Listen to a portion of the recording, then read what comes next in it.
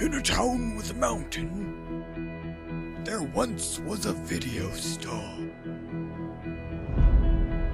And the people of the town knew it as Couch Critics. A place where you can get whatever video